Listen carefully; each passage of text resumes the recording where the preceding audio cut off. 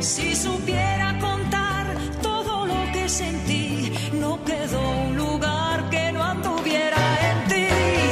Besos, ternura, que de 8 de la mañana, 43 minutos. La temperatura actual en 3 grados, la humedad del 100% y una máxima probable para hoy en 15 grados. Nuestras vías de comunicación. 485-220, línea rotativa. 483-583, contestador automático de tu radio. 1546-9560, mensajes y WhatsApp. Vamos a meternos en este tema que ayer contábamos durante la mañana, que cuando nos enteramos de la noticia pensamos de que bueno, esto se trataba de un episodio del orden eh, particular que había ocurrido en el seno de una vivienda, hasta que fuimos averiguando datos y pudimos llegar a la comprobación de que había existido en un consultorio médico y donde se habría dado una situación con una docente y la médica laboral. ¿Esto en qué derivó después? En una reunión con las autoridades del Consejo Escolar. Luis Santín, si mi producción no me falla, es el vicepresidente del Consejo Escolar Varadero y está en línea con nosotros a través de tu radio. Buen día, Luis, ¿cómo estás? Buen día, Danilo, ¿cómo estás? Hay un pequeño error de entrada. A ver, ¿cuál es? Simplemente vocal. esta- El vocal, bueno, ahí está. Bueno. Ahí está. Eh, lo que pasa es que no te habían preguntado bien el, el- el dato de No, no hay problema, de no hay problema, rol. Danilo. Eh, Muy amable tu chica. sí. Eh, bueno, contame por favor, ¿cuál es la intervención de ustedes en esta situación de ayer? Mira, Danilo, la situación se da muy temprano. eh, una docente eh, va al consultorio médico por una licencia. Eh, cuando la doctora eh, la atiende, y por una licencia en realidad de su hermana, no, es, no era propia. Ajá, Eh, la hermana de esta docente es auxiliar. ajá, Entonces, eh, le lleva la licencia con una determinada cantidad de días. Eh, la doctora evalúa que la cantidad de días que se le había dado al auxiliar no era la que correspondía y obviamente lo que hace es decirle que de la cantidad solamente le daba dos días. Eh, la, docente le comienza a explicar que el cuadro, cómo era el cuadro médico, cuáles eran los problemas que tenía, pero lamentablemente ella consideró que para poder este, darle la cantidad de días de su médico de cabecera debería acompañar ese certificado médico con otros estudios. ajá. Eso lo que deriva es que, bueno, ¿La licencia es por alguna patología en particular, digo, que se pueda conocer, eh, Luis? No, mira, eh, nosotros no podemos decir cuál era la patología, obviamente, pero eh, siempre se dieron los casos de que cuando son varios días, la doctora necesita para eh, confirmar la cantidad de días de licencia tener eh, más de un estudio que un certificado médico. Eh, es obvio que eh, ella tiene todo el derecho de pedirlo, de exigirlo y que uno tiene que acompañar generalmente a la patología con, con, con certificación, ¿no? ajá. Bueno, eso hace que este, entre una palabra y otra eh, la docente le dice que no, que la hermana realmente estaba realmente mal y una serie de cosas. Y bueno, eh, la doctora consideró que era una agresión, que estaba este, fuera de lugar y qué sé yo. Ella se va, la docente se va al consejo escolar para hacer un descargo, obviamente, y poner todas las quejas del tema. Aparentemente, después se habla de agresión, yo creo que no lo hubo. Ajá. La doctora lo único que había hecho en ese momento era este, explicar el caso, nada más. Ajá. Ella va al consejo, hace un descargo por escrito, porque todos los que se considera que la doctora está fuera de, de su autoridad, eh, hay gente que se queja de, de alguna otra cuestión similar o de alguna otra cosa por una cuestión de horarios que por ahí eh, tiene acostumbrado a cambiar la doctora por cuestiones personales y tiene todos los derechos que puede tener.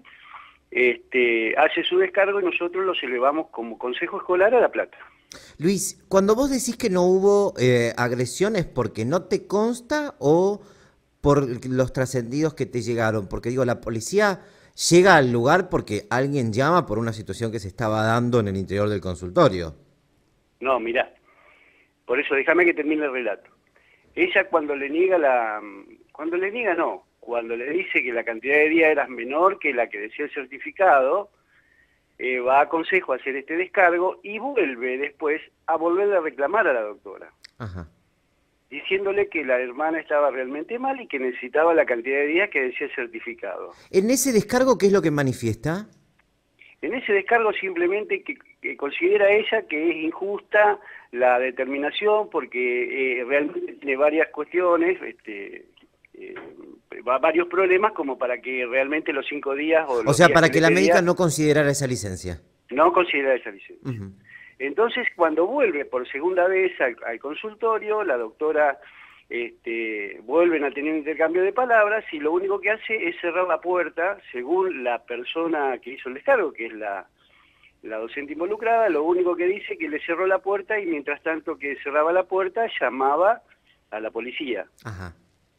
Y en ese que no la dejaba salir, aparentemente abre la puerta y la persona se retira. En ningún momento, según una versión que es la que tenemos, porque después eh, gente del consejo trató de hablar con la doctora, por lo menos en- a la mañana no pudo hablar para que este, se, le explicara cómo había sido también la situación. Obviamente ¿Había que- otros pacientes en el consultorio? Sí, sí, había pacientes, sí, sí, sí. O sea que la, la docente manifestó que había testigos de la acción, ¿no? Así que, bueno, eh, la doctora está en todo su derecho, tiene toda la autoridad para cuando uno lleva una licencia médica determinar los días. Esa es su, es su responsabilidad. Es decir, nosotros podemos decirle como pacientes o como este, docentes que por ahí estamos en desacuerdo, pero la que toma la decisión final es ella. Luis, eh, la docente entonces niega que hubo agresión, Mm, De ninguna manera, esa es la versión de la docente. ni siquiera empujones. No, no, no, para nada. Ella dice que lo único que intentó es abrir la puerta. Entonces, este, ella, mientras tanto, llamaba a la policía y le negaba la salida. Entonces ella dice, abrió la puerta y se fue. ¿Y el abrir la Sabía. puerta que por la tanto, fuerza? te cuento algo más, Danilo. ¿El abrir la Entre puerta por la fuerza? Y eso no lo puedo decir. Ella dice que abrió la puerta y se fue. ¿Y por qué entonces llama la doctora a la de las policía? personas que estaba como testigo. ¿Por qué la no- policía llama, por qué la doctora llama a la policía? ¿Se siente intimidada por lo que estaba Sí, pasando? obviamente, obviamente. Se habrá considerado este, agredida en ese momento y uno no está ahí como para justificar o decir qué es lo que pasó. Y realmente ella tiene los testigos, así que habrá que preguntarle a alguna de las personas que estaba ahí cómo fue la situación, ¿no? ¿Cómo sigue esta situación ahora? Mira, eh, ella después me entero, la doctora hizo su denuncia como corresponde. Eh, nosotros eh, lo único que podemos hacer en este caso es elevar eh, todos los descargos que haga tanto la doctora como la docente a La Plata. ¿Su denuncia dónde la radica? ¿En la comisaría? la denuncia, sí, creo que sí, estuvo en, en la comisaría. Te cuento, eh, Bueno, En entonces así, ahí- digo es donde falta un, un pedazo de la historia, porque lo que no se conoce hasta ahora es qué fue lo que denunció.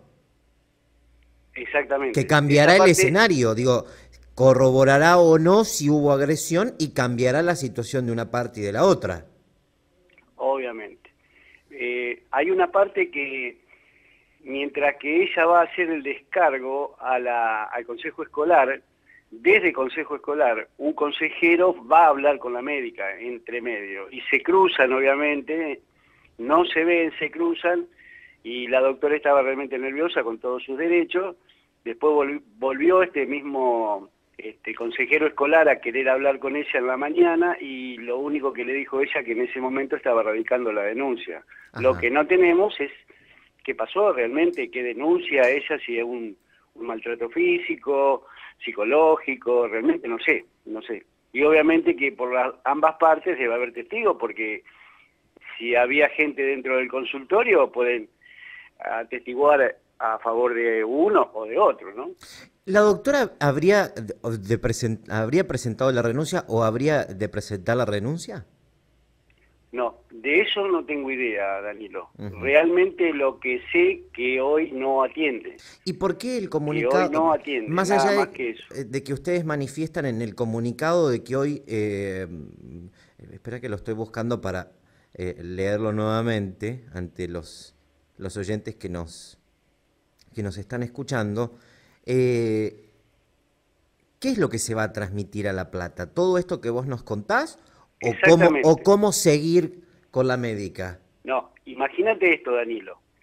Diariamente hay una serie de docentes o auxiliares que pueden tener una licencia o tienen que firmar la licencia. Como el régimen de licencia se firma diariamente, eh, cuando un auxiliar o un docente falta, lo tiene que firmar la doctora en el mismo día. En el caso que sucede ayer, ella cuando pasa este hecho, eh, deja de firmar. Bueno, ya se había terminado también su tiempo, ¿no? Porque atendía creo que de 7 a 10 de la mañana. Lo que no hace hoy ¿Se es firmar terminado el tiempo de quién? día de hoy. ¿De la, ¿De la doctora de atender? No va a atender el día de hoy. Luis, no repetime lo de ayer. ¿Se había terminado el tiempo de ayer de la doctora de atender? Sí, sí, sí. ayer Pero eran sí. las 9 de la mañana cuando pasó esto. Bueno. Si termina a las 10 le queda una hora de trabajo. Bueno, pero hubo, no te olvides que hubo, entre medio hubo esas charlas, volvió este la auxiliar, obviamente el estado de nervios que a lo mejor pudo tener la doctora e- e hizo que no siguiera atendiendo con todo su derecho, ¿no? Una situación muy difícil. Lo que te digo es que el problema grave es hoy porque obviamente toda la gente que hoy presente una licencia, no hay en Varadero quien le firme esa licencia. Entonces termina siendo después un día injustificado para el auxiliar o la docente que lo presente. Esa es la gravedad del tema en el día de hoy.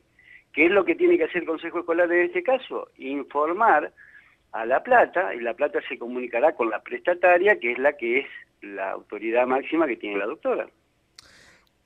¿Había ya inconvenientes con la médica con anterioridad o por otros casos docentes?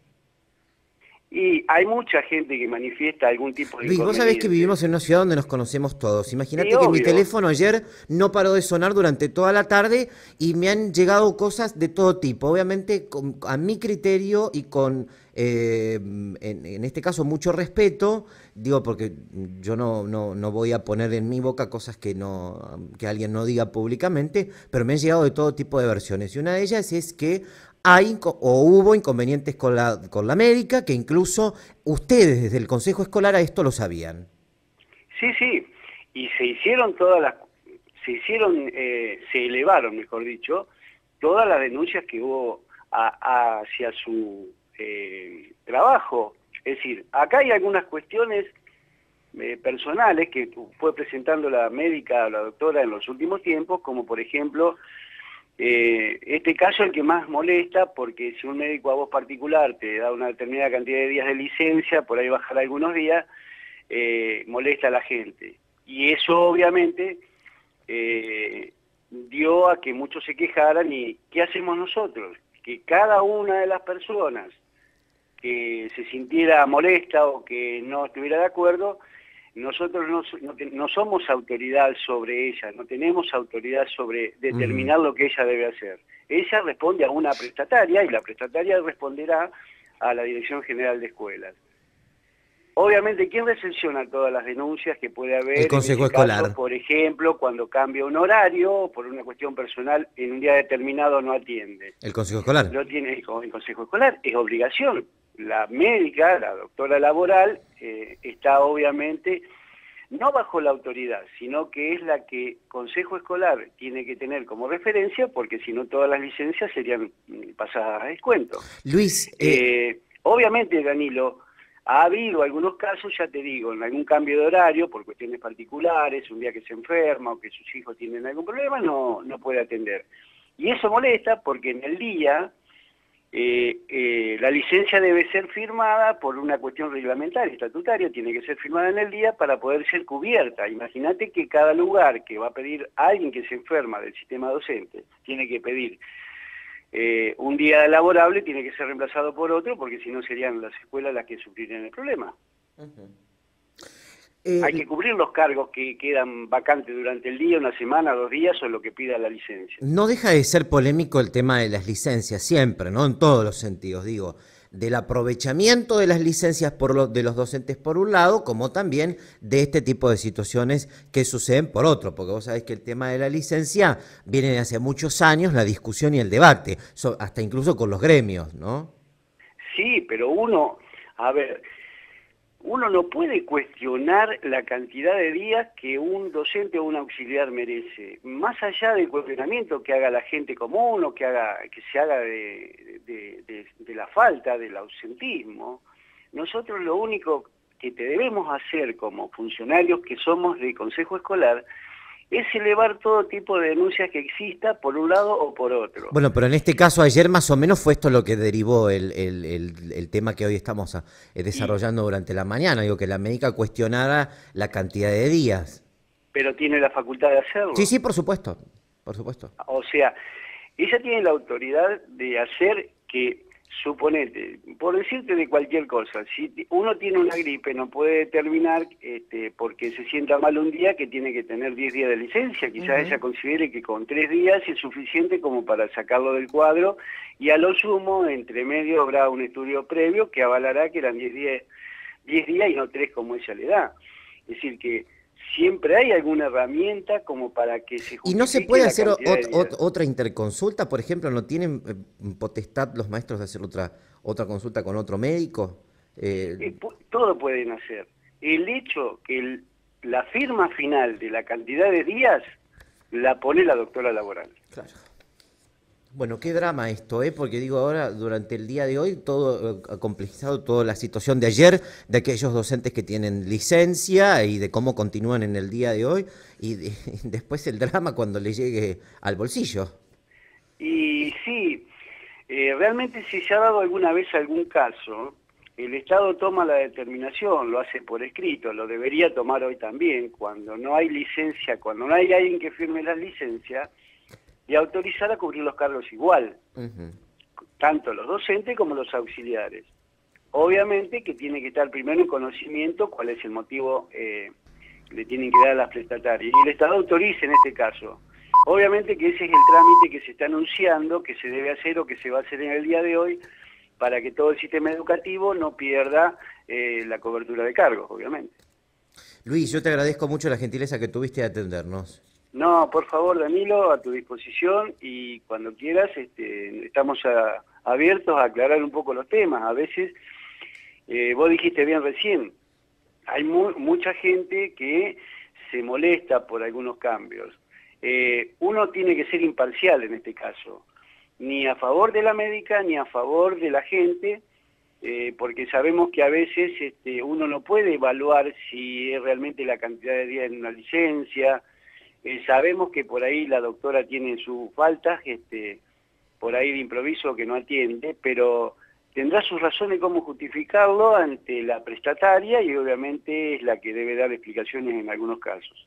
Nosotros lo único que tenemos autoridad, para que quede claro a la comunidad, que somos el nexo entre la Dirección General de Escuela, que en este caso es la que contrata a la prestataria, y la gente. La gente eh, considera, los gremios consideran que hay eh, algún tipo de inconveniente y nosotros le vamos todo lo que sea este, denuncia y todo lo que sea reclamo, lo elevamos a la plata como corresponde. Esa es nuestra función, Danilo. No evaluar si está bien o está mal. No podemos hacerlo porque obviamente pecaríamos de, de soberbio, ¿no? Un abrazo muy grande, Luis, muchas gracias. Gracias, Danilo, hasta luego. Luis Santín, eh, vocal del Consejo Escolar de nuestra ciudad, hablando con nosotros a esta hora de la mañana, la primera de las partes que acabamos de escuchar, del tema que vamos a seguir en un rato, por supuesto, de lo que sucedió ayer con esta docente y la médica laboral. Todo lo que pasa en la ciudad.